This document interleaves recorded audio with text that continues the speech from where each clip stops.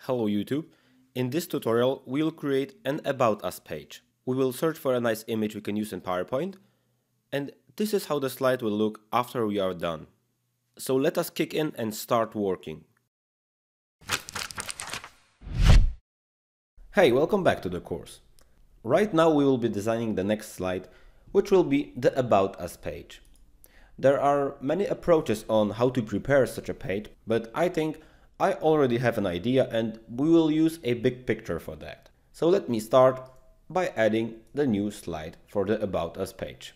I told you that I will present you one-on-one -on -one how I create those presentations. So I'll also reveal very nice resources for you and here is one of them, unsplash.com. It's a great website where you can find completely free without copyright images and they are adding 10 new photos every 10 days. So I just typed in some office photo and as you see there are not so many photos but we could use that one we could use that one. I've downloaded two of them and will enter them into the presentation. So let's start.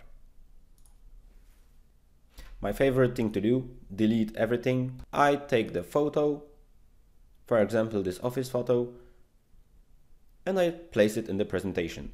It's quite a bit big and it's a rectangle photo. So what I want to do, I hit the picture tools on the top, I go to crop, and I crop the bottom side just a little bit. Let's say like that, or even a bit more, because I like the top side of the image. And I simply make the image big. I would like the image to cover, for example, 75% of the slide. So it should be something like this, not too much. We can resize it later. PowerPoint is snapping this automatically. And I still need to crop this image. Let's say from the bottom again, like that. All right, yeah, this looks a little bit better. I wanted it to be more, so I do it again I crop again. I'm really ugly with this photo. I cropped half of it, but it doesn't matter. I just want to achieve the effect I want to achieve. I'm a little bit too slow, so let me speed up. I take four icons from here, I copy them, and I insert them on the slide. Alright, I have trouble selecting them now. Let me take them to the bottom, and let me set the image back. As I see the image is a little bit too small, I can resize it. I want to show you a nice trick how to cover up the image with a simple effect. I select a rectangle, I make the rectangle exactly the same size as the image. I right click on the rectangle, I go to format shape. First, I make shape outline no outline and now I want to select the branding color that I'm using for the entire presentation. Let's say, since I already made the title gray, we will go for a grayish approach and I will simply select a gray color. It can be even darker and I work with the transparency. As you see, we can create a really nice effect when the image is a little bit visible. Maybe it's too dark. Now it's too milky. This should do the trick. This adds a little bit more flavor to the image. Alright, I'm done with that. I group the image. Maybe I should select a darker image, but never mind. We used an image like that and I start working with the icons. I align the icons together or four, four of them. PowerPoint is helping me with that. I select all of them. I want to make them just a slightly bigger, just slightly. And since they are vector icons, I can recolor them as I would like. So I select another color for each of the shapes.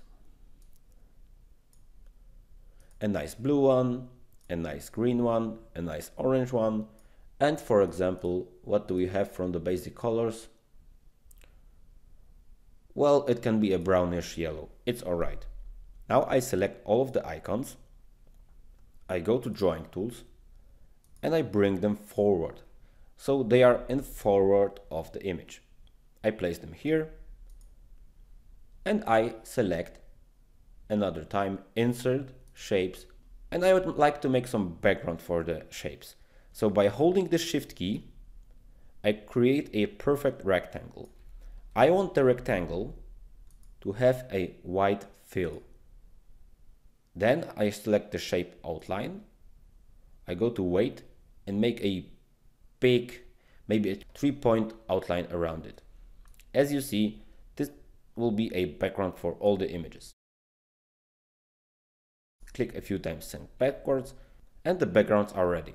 I make them smaller well, the images should, the icons should depend on what type of business you are doing right now. I copy it four times.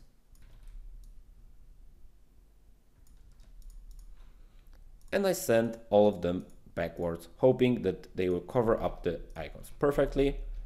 All right, what I should now do, I should always select shape outline. And by using the eyedropper, I should make the outline the same as the icon. Okay, the icons are ready. I quickly copy the text from the first slide to insert it here. Make my company name. I select the text, I make it white, and I place it in the middle.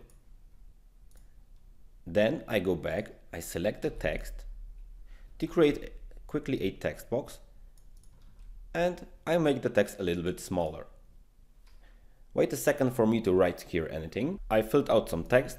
I think it should be adjusted to be justified. I've adjusted it to cover up the box and I think this slide is ready and designed. We could still enter a tagline here, but let's not overcrowd it. I'm also not convinced by the orange we are using, but somehow the image which has also the orange chair works with that. So as it is, we are ready to begin animating the whole slide.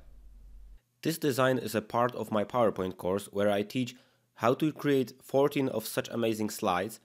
If you would like to participate and enroll in this course, I have a special discount only for the viewers here from YouTube. You can click on the link which is showing in the middle of the screen right now to take a look at this course and if you're interested you can enroll in it for only 10 bucks.